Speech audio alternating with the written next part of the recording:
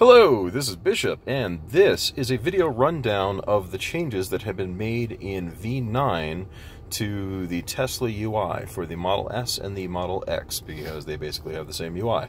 I apologize in advance for the handheld camera. I did my best to try to figure out a way that I could mount this camera vertically so you could see the entire screen and still have my hands free, but I couldn't figure out a, an option that really got the angle that I needed even with all my assorted mounting arms and, and other hardware. So um, I'm just going to try and hold it as steady as possible with my other hand as we go through what has changed in the UI. So obviously the first big thing you'll notice is there is no UI bar across the top. Touching up here does nothing. Everything has basically been moved down to the bottom. So the the UI in general still permits you to multitask in a similar way to how you used to be able to do it before. The biggest difference now, though, is you can multitask as long as one of the apps that you're multitasking is the navigation. Navigation has essentially become the background screen for all of the other applications. Uh, the first thing that we'll take a look at is the control slash settings section. So one thing that's changed here is they've actually consolidated controls and settings into one set of menus essentially. This is something I don't have a philosophical problem with. I always thought it was kind of arbitrary, the distinction between what qualified as a control and what qualified as a setting. So now everything has been collapsed into here. So they've added this quick control setting, which does occupy the entire screen, but it gives you access to the things that you're most likely to want to have access to um, on a regular basis. Interesting. Okay, so um, okay, that's interesting. So some of this stuff I'm actually seeing for the first time. So it appears that I was a little concerned there because I didn't see a button to open it all the way.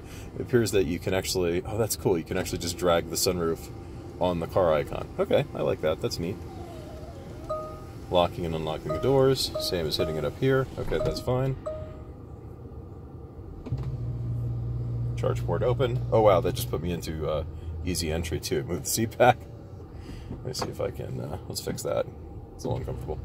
There we go. We should close that. There we go. Uh, rear trunk and then display brightness. That's actually handy that they put that someplace so you can more easily access it. Suspension controls look fundamentally pretty much the same. Lights, look fundamentally pretty much the same, except they've they've changed a lot of the toggles to these much smaller um, on-off toggle switches. So interesting. So ambient lights and dome lights are no longer accessible from what the equivalent of the quick controls that you had in the previous UI was. So you actually do have to go to lights over here. Let's see if there's anything. No, I don't think there is. Hmm. Okay, interesting. So driving settings, those look pretty similar to what they looked like before. Um, autopilot. So I'm not, this is not a video on the new autopilot capabilities or anything along those lines. This is just specifically to cover the MCU stuff because I can't do a lot of this stuff while I'm driving. I will do another video on that um, shortly. One of the new features that they've added is the obstacle-aware acceleration. They also do mention specifically in the release notes um, the new highway navigation feature. However, um, it's even though it's mentioned in the release notes, it's called out in the release notes as a confirm, not as an automatic. So the whole like you know light, normal, or Mad Max setting that doesn't appear to be what this version was supposed to have included uh, which is consistent with what I've been seeing on the forums. But the setting that they call out specifically is obviously absent here because they, they pulled that feature prior to this release so they could get this release out. Um, I will say that this release is probably the most significant release in terms of maybe Tesla's history that they've done in terms of total number of things that they have changed because there's there's a lot of little stuff and we'll get into that also some of it in this video and some of the next video um, so the, the vehicle features, these all look pretty much the same. Again, they've moved it to this vertical list of small toggles. I like this layout a little bit better than the old way. Display, so this is interesting because they've actually collapsed the display settings that they had along with the units and measure settings. So there's no longer a separate section for units and measure. I have no problem with that. I think that makes sense. Um, trip meter looks pretty much the same. Navigation, um, looks all the same except they've added the feature specifically for the HOV lanes. Now, one thing you also notice is um, at the top of the settings menu that you had in the previous UI, there was an applications settings, which allowed you to change settings for calendar was one of the applications, and then navigation. This was for a feature that they were planning on doing a long time ago where you're going to be able to plug in applications into your car that they never ended up doing. They were going to let people develop their own apps. They were going to, they had like a whole bunch of plans for how they're going to do it. So they had left it open with like an extensible UI where basically you could add more applications at some point in time and you'd be able to set them um, in there. But for as long as I've owned my two cars that I've had, um, the only two applications that have ever been in the app setting were just calendar and navigation. So I think they realized that that's kind of silly and they've basically gotten rid of that and now navigation is just part of the core UI. Uh, safety and security. So these features all look pretty much the same, consistent with the most recent versions. And then service, yeah. So wiper, service mode, um, reset the tire pressure sensors, uh, factory reset of the car. Yep, that's all the same. But yeah, all of it's been collapsed into this single UI. So, in terms of what I like about this, um, I think the new layout is probably better. Um, there are a lot of little things I'm going to have to get used to. I think things generally are going to be easier to find because you don't have to dig through quite so many submenus as you did before. Um, you know, you don't have to memorize like which item was a control, which item was a setting. Um, you don't have to go into the application settings and then navigation to go, you know, you basically just from the controls here, just go straight to the navigation settings. Units and measures being broken out as a separate screen, that was probably kind of silly. Um, what I'm ambivalent about, I'm not certain that I like the whole Chrome that they use here. Chrome referring to the um, the general look and feel of the UI, like all the, the elements, the buttons, and whatnot. Um, I think it's very minimalist. I like graphics. I'm not a UI designer by trade. I do work in IT and with uh, custom software development, but um, designing a clean UI is not something that like there are guys who basically specialize in doing just nothing but that because there's a, there's a lot to it. Um, you know, I think it's fine. I think I'll get used to it. It's not it's not my favorite look. I don't think it's significantly worse than the look that we had before, but it just, you know, I feel like they could have done a little bit more with it. Maybe even just a little bit of color. Um, so now, if we take a look at the bottom, we've got our audio controls. So basically the way that everything works is the navigation is the background for all of the other applications. And then it's just a question of what are the applications that you are then launching on top of the navigation. So there's some pros and cons to that. So we'll start with the audio. So the audio is the only one that's not on the quick launch bar, presumably because they expect that you're going to want to go back to it relatively quickly and, and relatively often. So this is interesting. Now, every single one of these applications has this drag bar. So to dismiss the application, basically just drag it off the screen completely and you've got full screen navigation again. Um, audio in particular has multiple places where you can leave the drag bar and that gives you basically like what your what your collapsed view is going to look like. So this is as large as you can get it. Uh, and it has all the same options that we basically had before. Everything's been laid out a little bit differently. Um, one thing also worth pointing out, my car has MCU version 1, so this is a Tegra-based MCU instead of the Intel-based MCU. One of the things that was mentioned on Electrek was um, you were not going to have the ability, or they, they didn't explicitly call it out. It was more just a question of these are the features you have in MCU 2, these are the features you have in MCU 1. One of the features that was listed for MCU 2 was the ability to um, directly tune radio stations, but it was not listed for MCU 1. I have an MCU 1 car, and yeah, apparently this feature's here. So that's cool. That was in addition to so that feature and then the dash cam capability that's only on Autopilot 2.5 cars um, were the two features that I was not going to get as part of this suite.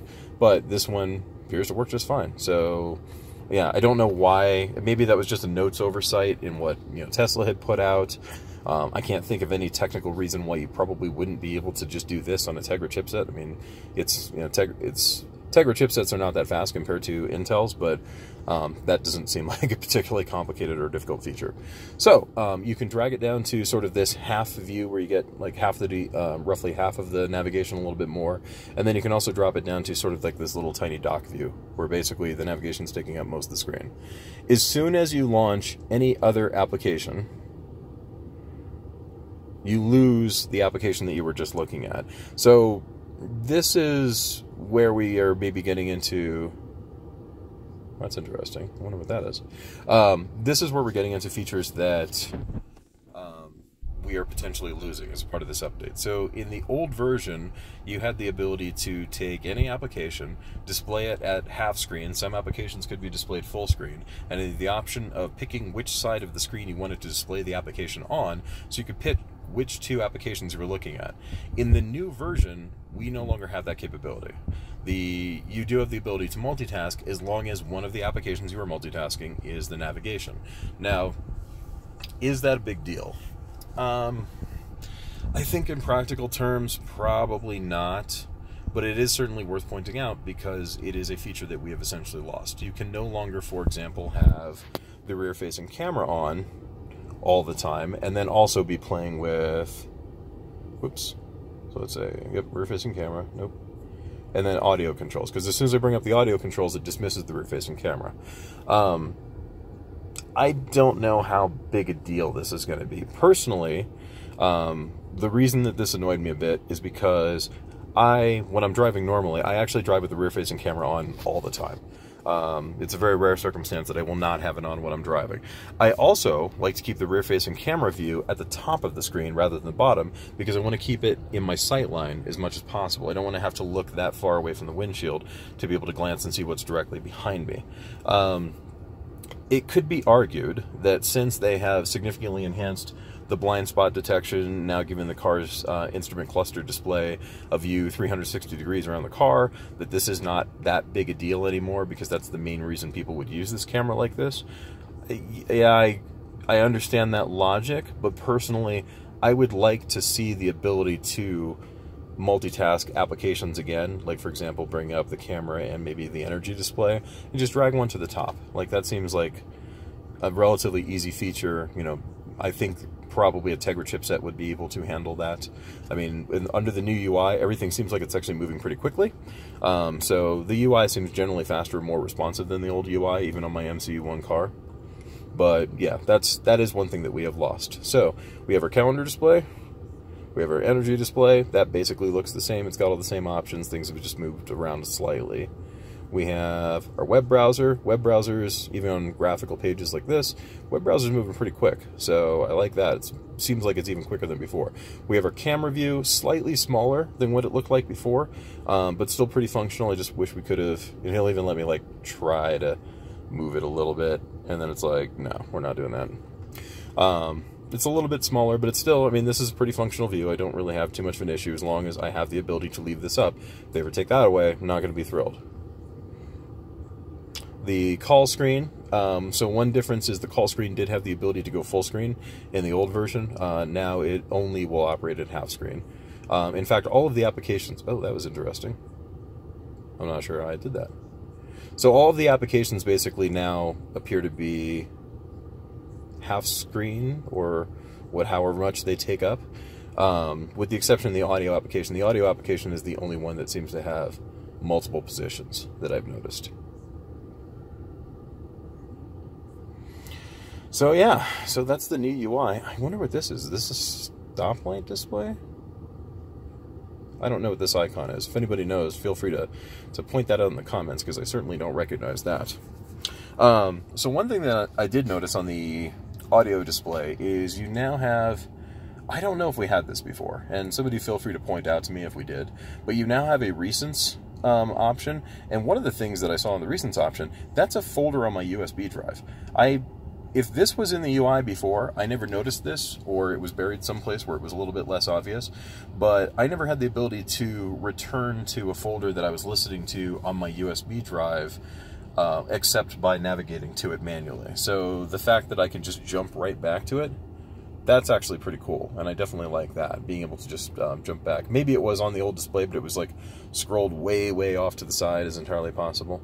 Uh, if we go into the equalizer settings, We've got our balance, so this has been split out a little bit. And now we've got the new explicit content option. Um, that I believe we didn't have an option for before. They also moved the DJ commentary into over here and allow mobile control, since now you can control, um, you can do like track forward, volume up, volume down, start, stop, uh, pause, etc. Um, but uh, using the mobile app, which, you know, I think it's kind of handy. Um, I don't know really how much use anybody's going to get out of that because you still have to have the app, you still have to be connected to the Tesla account. Um, you know, it's like if my wife's in the car she's probably going to be sitting in the passenger seat anyway, so I don't know that it's that much more convenient to bust out her phone to, to control these options.